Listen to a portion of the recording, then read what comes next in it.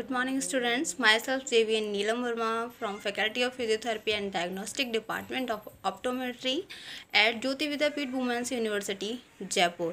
And today I am here to discuss about the topic disorder of ocular motility. Disorder of ocular motility under the subject of binocular vision and ocular motility in fourth semester.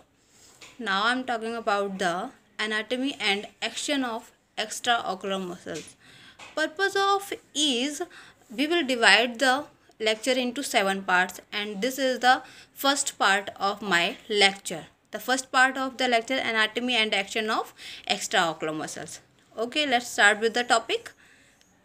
There are six extraocular muscles four of them are recti muscles and two of them are oblique muscles. The primary action of recti muscles is to rotate the eyeballs in four direction. The first is up second is down and the third is out and the last is in. And the primary action of oblique muscles is to rotate the globe in torsion and extorsion.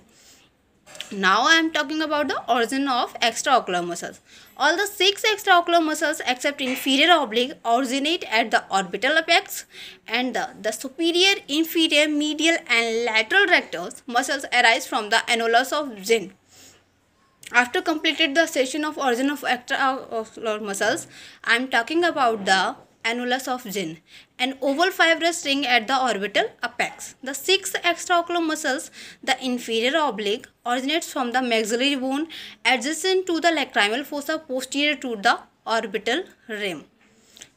Now I am talking about the annulus of Zinn. The annulus of Zinn is structure passing through the annulus. The first is oculomotor nerve, superior and inferior divisions. And the second is abducens nerve. And the third is optic nerve. And the fourth is nasociliary nerve. And fifth is ophthalmic artery. Optic nerve is also called the sensory nerve. Now I am talking about the insertion of the recti muscles. The rectus muscles insert into the sclera just anterior to the equator of the globe. The spatial formation created by connecting their insertion is called the spiral of Tillaux. Note that the medial rectus inserts closer to the limbus followed by the inferior lateral and superior recti in that order. Now I am talking about the insertion of oblique muscles. The oblique muscles inserts into the sclera posterior to the equator of the globe.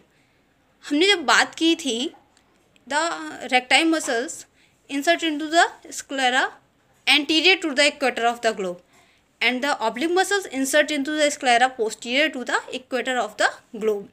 The superior oblique tendon insert into the posterior superior lateral sclera in a broad fan-shaped fashion under the superior rectus muscles.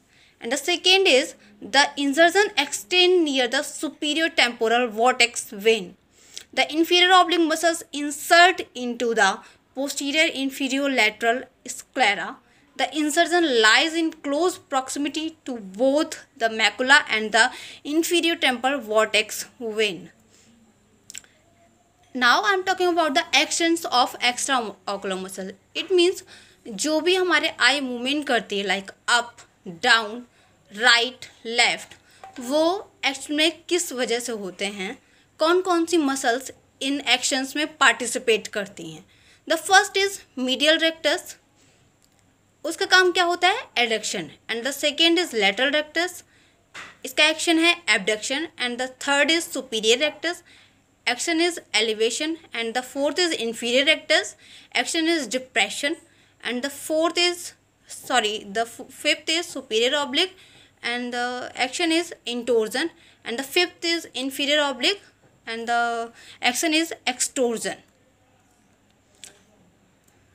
अब हम बात करेंगे blood supply of the extra ocular muscles the blood vessels that supply the rectal muscles are termed anterior ciliary arteries these arteries also supply the anterior segment of the eye the long posterior ciliary arteries also supply the anterior segment of the eye with blood we are the major arterial circle of the iris you know ना anterior segment and the posterior segment of the eye what the anterior is the in front part and the posterior is the behind part okay the blood vessels that supply the oblique muscle do not carry any circulation to the anterior segment.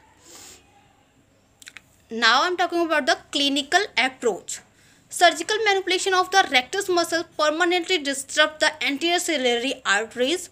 If surgery is performed on multiple rectus muscles simultaneously, anterior segment ischemia may result. Anterior segment ischemia can lead to pain, uveitis or even phthisis bulbi. You know now uveitis? Uveitis is the inflammation of uvea as the long posterior ciliary arteries also supply the anterior segment of the eye with blood via the major arterial circle of the iris. They allow collateral blood flow after rectus muscles surgery.